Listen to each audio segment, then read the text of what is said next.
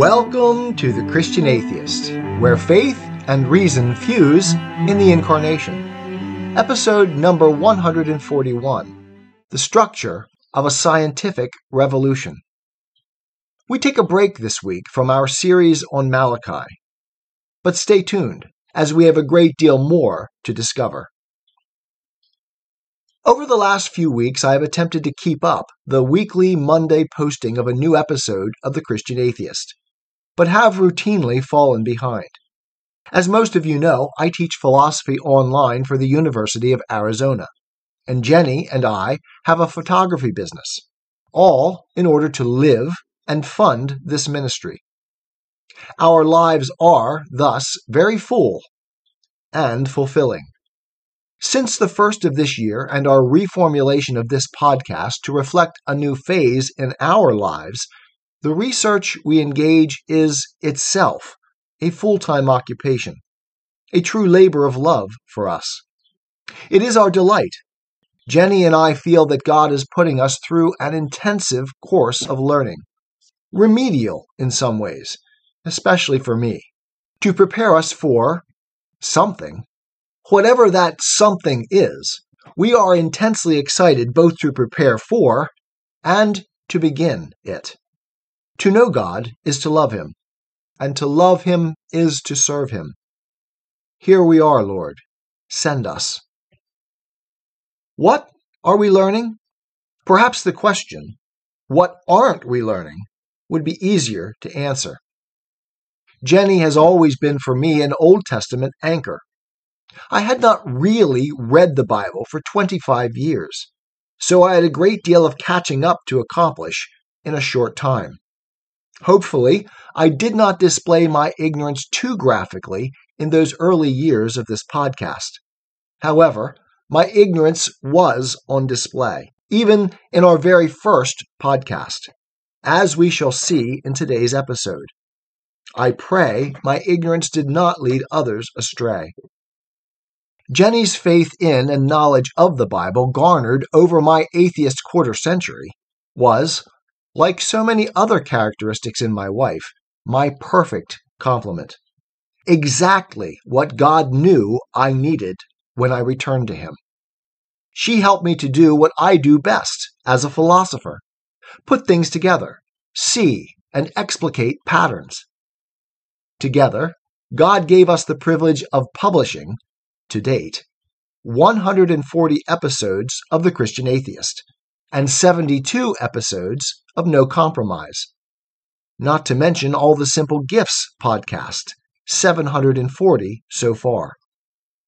Our change of focus from apologetics to knowing God this year has not, as I feared, contracted our range of study, but infinitely expanded it. God is truth, so to seek truth in all things is to seek to know our Lord. And, this is where the rubber meets the road this season of the Christian atheist, to know God is to seek to know and understand His Word, the Bible, as it relates to everything else. So, what have Jenny and I been studying together? First and foremost, the Bible itself. And with a joy and enthusiasm in discovery that neither one of us has experienced before. The Bible is coming alive for us on a daily basis. What else? Plants and birds, edible naturals, archaeology, astronomy, mathematics, and, among other things, what I want to emphasize today biology and human genomics. This field, like so much of what we are studying together, has exploded in recent years. Researchers are discovering complexity and design at astonishing detail.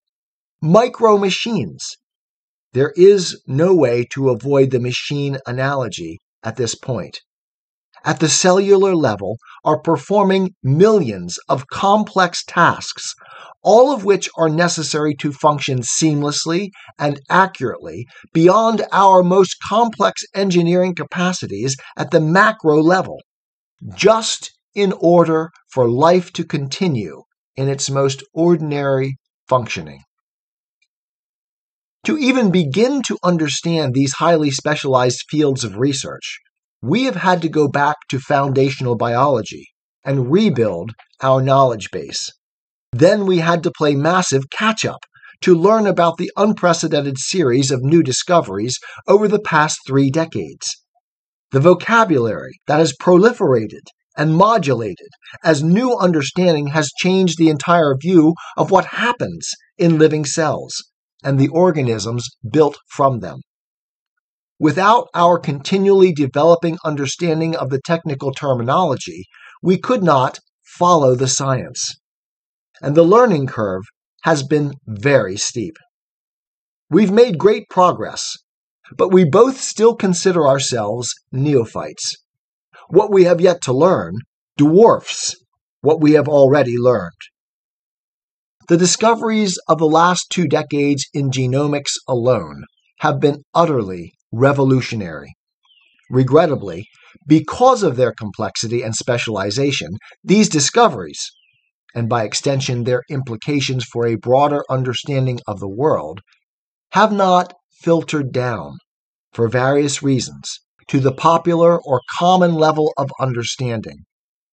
In other words, almost no one outside the scientific specialists doing the work have heard of these discoveries, let alone what all the new realities imply for the broader scientific theory.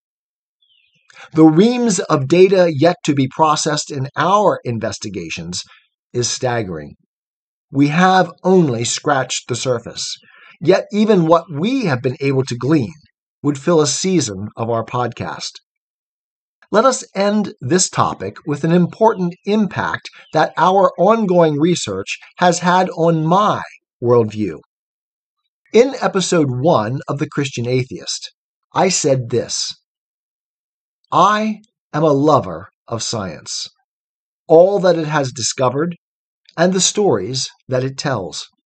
I believe the universe is probably 13.8 billion years old, as cosmologists tell us, not 6,000 as young Earth creationists assert. I do not claim to know how human beings arrived on this Earth, but I am inclined to believe that evolution is the best answer we've given so far, and for me it rings true with my understanding of God. Scientific accounts are compelling and evidence driven, tested in the crucible of the real, and Christian faith does not prevent either the search for or the acceptance of scientific answers. While the broad spirit of my words here has not changed, I could not today write these same words. As for the age of the universe, we will save that for another time, but for now, my embrace of evolutionary theory is utterly collapsed under the weight of evidence. Michael Behe's argument of irreducible complexity so quickly dismissed by the popular press, the political elite, and the dogmatic scientific establishment when it was presented in his 1996 book, Darwin's Black Box, has proven prescient. We are now discovering that it is not just individual parts of biological life that are irreducibly complex, but life itself. It could not have evolved by merely natural processes. I was aware of Behe's argument in 2019 to 20 when I wrote those words, but I was unaware at that time of the state of research into biological life processes. I dismissed Behe's argument and sided with the scientific establishment. I chose human reasoning over God's declared truth. With God's help, I will endeavor to never make that mistake again. In the quote from my first episode of The Christian Atheist above, you will note that I couched my language in the familiar to our listeners Socratic terminology. Quote, I don't claim to know, but I am inclined to believe. End quote. Follow the evidence and allow reality to correct your conception of it. I have taught since day one of the Christian atheist that the retreat into certainty. The failure to acknowledge our fundamental ignorance and human limitations is the bane of an honest asking, seeking, and knocking, an honest pursuit of the truth. It turns out my faith was misplaced in this instance. This is not a change from the process I began when I first walked away from God after Bible college in pursuit of the truth. The journey continues, and truth continues to make itself manifest to me. And as I find it, I want to always be willing to turn from my ignorance toward knowledge and understanding. It is my delight to find where I am wrong and to align myself more tightly to the truth, to God. Our faith journey is always an asymptotic approach and never the arrival at certainty.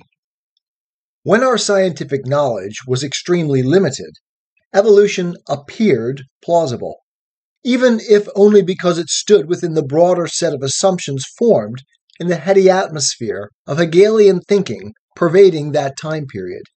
We knew so little about genetics and the machinery of life.